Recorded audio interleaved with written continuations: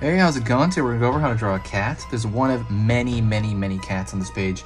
Uh, but there's a million different ways to uh, draw a cat. This is just one of them. And this one, I like it for a couple of reasons, uh, and you'll see why. So, this is for a beginner. You can grab a marker, and we're gonna do this, you know, step by step together. So let's get started, okay?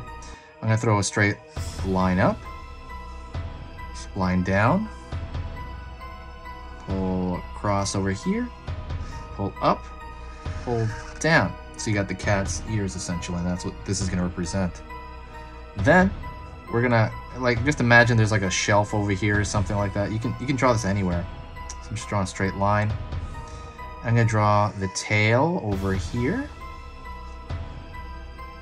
And what I'm gonna do is I'm gonna draw actually almost like a curve shape here, curve shape here for the eye. Then I'm gonna pull up here, up here. And I'm gonna throw a line down, a line down for the slit pupils. And then what I'm gonna do is I'm gonna fill in this entire shape. You can do it in colored pencil. You don't have to do it in marker because it will kind of kill the marker really because it's gonna dry it out. I'm gonna do it in marker just so I can show you. I am very much sacrificing this marker probably.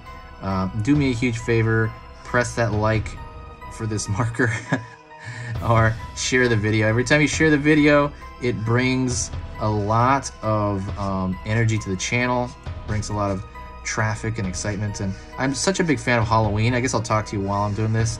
Halloween is my favorite holiday. I think it's obvious because I have an entire YouTube channel uh, dedicated to drawing Halloween items. And I'm just, I don't know, I'm really happy and excited that you guys are here. And it really just, I don't know, makes me feel amazing. I feel like this channel saved my life.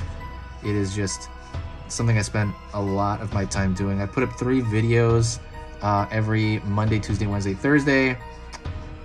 And so that's like 12 videos every week, and I love it. All right, that's good. And then I'm gonna do the same thing over here for the tail. I'm gonna fill that in.